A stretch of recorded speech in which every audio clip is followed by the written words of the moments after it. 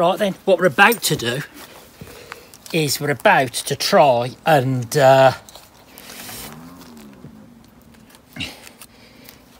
fit this new uh, what's it called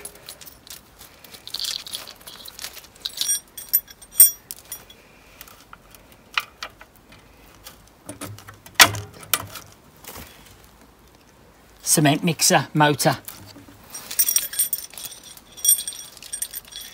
Live. I got all sorts of I've got all sorts of crap in my oh, I'm not having a good day today. I've got all sorts of crap in my pocket so you're gonna have to bear with me. So I think that goes in there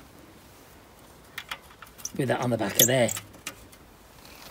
I need another one of them in, on this side, I think. I'm not saying this is going to fit. This is not the this is not the direct replacement motor for this uh, cement mixer. But it looks as though it's going to fit.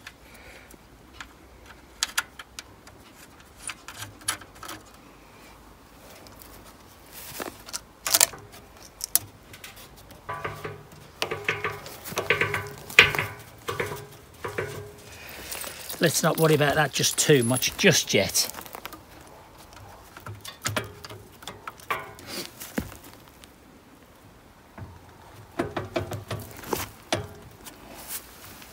Don't like that, Sean. Right, so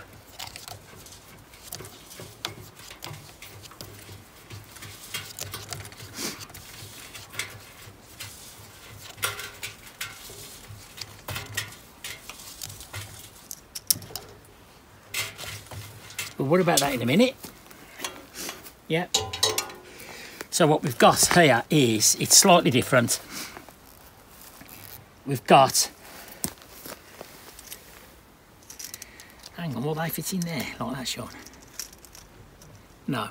So, I didn't realise there is an overload switch in this box, but uh, I need to drill a hole through there to put an overload Right, nothing is ever straightforward. I bought a new uh, 10 amp breaker tripper there, yeah, for the internal windings, but these fittings are too big for there. Yeah. I haven't got any smaller ones, so I'm gonna have to try and bodge it up somehow. So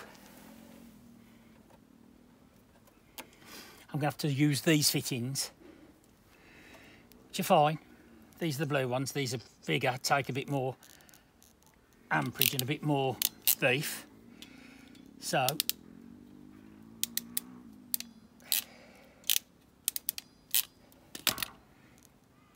that's that one.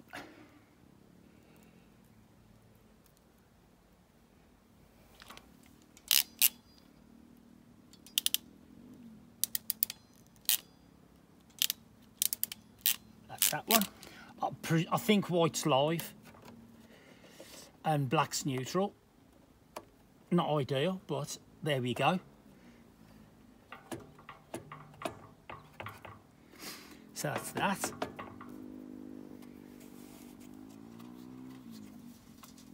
I'm pretty sure that's okay there. So let's let's turn her on and see if she works. Yeah?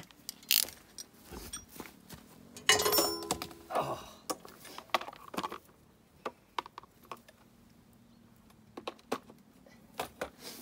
Let's see if she works.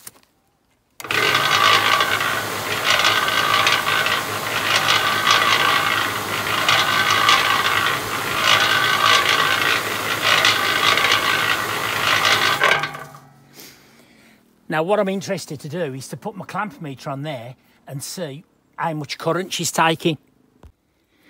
Right, so just out of curiosity, I want to see how many amps this uh, cement mixer draws empty.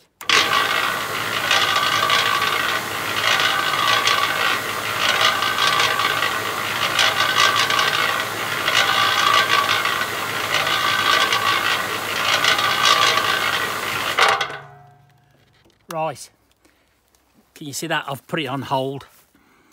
I can't, you can see it. Draws two amps. So, uh,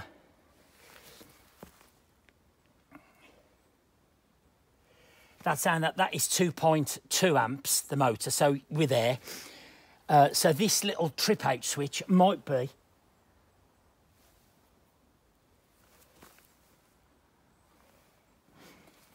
Sorry, there wasn't a trip out switch on this before. I was getting confused. There's no trip out switch on this. This is just on and off. So I fitted this new 10 amp trip, but that might be a bit big. It might have to be 5 amp, but we'll worry about that further down the track. So let's put this back together again.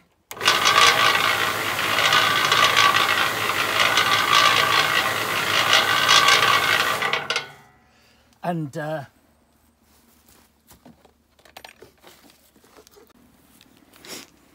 right then.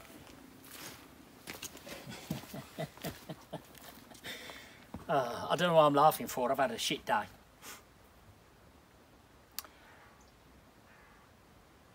as I said in my other bit of video, whether I post it or not, I've, I've hurt me back today. Trying to undo the nuts and bolts on my front wheel on my van. Anyhow, so this brand of cement mixer is called a Switzer. Just a generic electric 240 volt cement mixer off the internet that I bought about five years ago. And I used it for whatever reason I used it for. Oh, for mixing all the cement for my polytunnel. And it's stood here ever since, I'm ashamed to say. And I covered it over with a big builder's bag, but the wind has blown it over several times. And basically, the weather's got into the motor. I thought it was a start capacitor, and it wasn't. It was the actual motor. You can't actually buy the spare motors for these. They're just a generic Chinesian piece of crap. So I bought a motor, I took a, a punt and bought a motor that's suitable for a, a Belle mixer. Now Belle cement mixers are one of the best brands of cement mixers on the market. All the builders use them. So that's the good news. The bad news is this this electric cement mixer didn't have a, an internal thermal cutout switch. So if the motor struggled and it drew too much amps, it wouldn't trip. Now, admittedly, I've put a, I've put a, you can't see, I've fitted a, a, a, a 10 amp manual reset switch on this. 10 amp is a bit too high, but notwithstanding, better than nothing. This mix is a bit too fast. But for the stuff I'm kind of doing, it's not too bad. This is running at, what was it? Uh, 30, roughly 32 revs per minute when really you're looking for it to be 27, 28. Doesn't sound a lot, but notwithstanding, that's what I think anyhow, but it is what it is. So let's turn it on.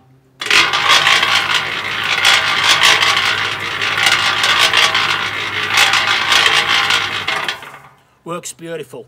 The only thing left to do now is to give it a bit of is to give it a bit of spray. Yeah,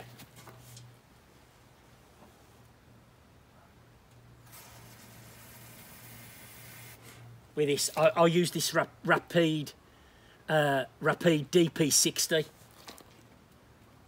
It's good stuff. That's that there. That's that there. That's that there.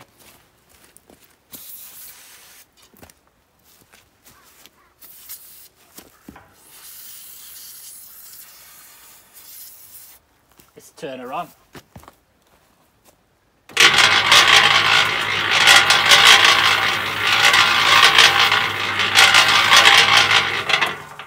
Beautiful. Beautiful. So me, me cement mixer's back up and running. and that means I can mix me uh, mortar to do some rendering on the roof uh, over the weekend. So yeah, if anybody's interested, that motor for the cement mixer was, I think it was 89, not, I think it was 90 pounds. Uh, but it's the proper motor for the Belle mixers. And then the uh, the the manual reset switch that was I think that was 10 pounds for two. So we'll we'll see how it goes. But what I need to do is I need to protect this this box better from the uh, severe weather we're having because I learnt my lesson there so that's some that's my cement mixer back up and running. Job done. Just in case it helped anybody. I've used this so much, so much it's been worth its weight in gold.